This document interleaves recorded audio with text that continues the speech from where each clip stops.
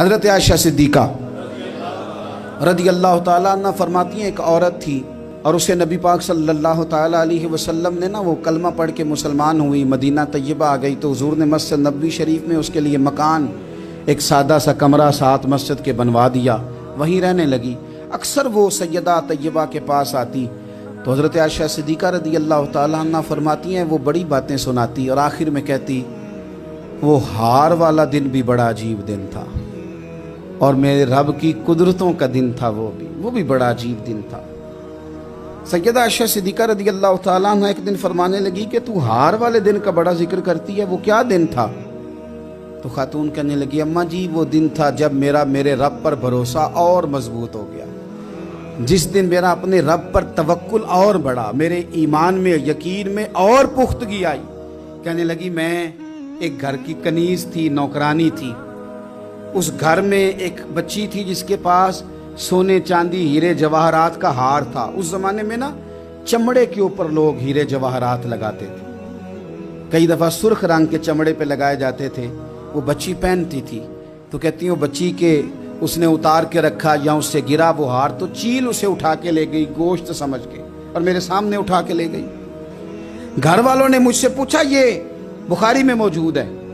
घर वालों ने पूछा मुझसे कि वो हार कहाँ है तो मैंने कहा, चील उठा के ले गई। घर में कुछ चोरी हो जाए तो सबसे पहला इल्ज़ाम किस पे लगता है? मुलाजमीन पे। कहते उन्होंने मुझे बड़ा मारा। बड़ी तकलीफ़ थी। हती कि मेरी शर्मगाह तक की तलाशी। मेरी इज़्ज़त इतनी ख़राब की मैं बता नहीं सकती। मैंने अपनी ज़िंदगी में एक वाक़ देखा। एक अमीर घर में चोरी हो गई। मुलाजिम को इतना मारा इतना मारा कि वो चारपाई पे पड़ गया। पुलिस वालों से इतनी मार पड़वाई गई कि वो बेचारा चारपाई पे पड़ गया। और फिर वो इतना बीमार हुआ, इतना बीमार हुआ। और कुछ दिनों के बाद पता चल गया कि चोर तो अपना बेटा है उनका। फिर उसका इंतकाल हो गया।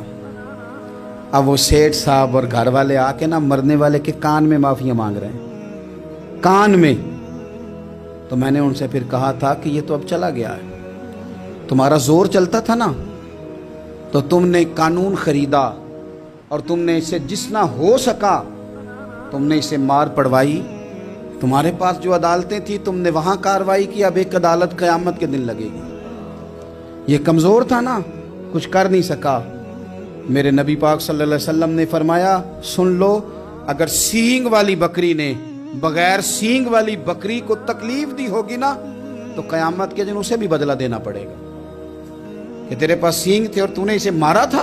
वो खातून अर्ज़ करती है सैयद आयशा की खिदमत में कि मुझे बड़ा मारा, मुझे तकलीफ़ दी। मैं कह रही थी कि मेरे सामने चील ले गई है, पर वो नहीं मान रहे थे। अम्मा जी, उन्होंने मुझे बड़ा मारा। हज़रत आयशा सिद्दीका कहती हैं, फिर क्या हुआ? कहने लगी, अम्मा जी, जब कोई मेरा मददगार ना रहा, मुझे तकलीफ़ दे रहे थे, रसवा कर रहे थे तो मैंने अपने रब से मदद चाही। मेरे रब की तरफ़ मैंने तवज्जो की, मैंने कहा, मालिक, अब तू ही मेरा मददगार है। कहती है, वो मुझे मार रहे थे तो वो चील जो हार ले गई थी, वही लेके वापस आ गई। और हमारे सरों के करीब ला के उसने जब उस हार को फेंका, वो मुझे छोड़ के साइड पे हुए। वो मेरी बेगुनाही जान गए, लेकिन आपको बताऊँ, उस दिन से मेरा अपने रब पर यकीन और बढ़ गया। मुझे समझ आ गई कि जब इंसान पूरा टूट जाता है, और जब कोई चारों जानिब उसका मददगार नहीं होता तो रब तो होता है ना। अल्लाह तो उसका मददगार होता है ना। वो तो फिर अपने उस बंदे की मदद करता है ना। फिर वो तो तवानाई देता है ना। वो तनहा नहीं छोड़ता। वो तो आंसुओं वालों के आंसुओं पे बड़ा करम फरमाता है। वो तो कसम पुरसी में आ जाता है, उसकी रहमत बढ़ के इस्तकबाल कर लेता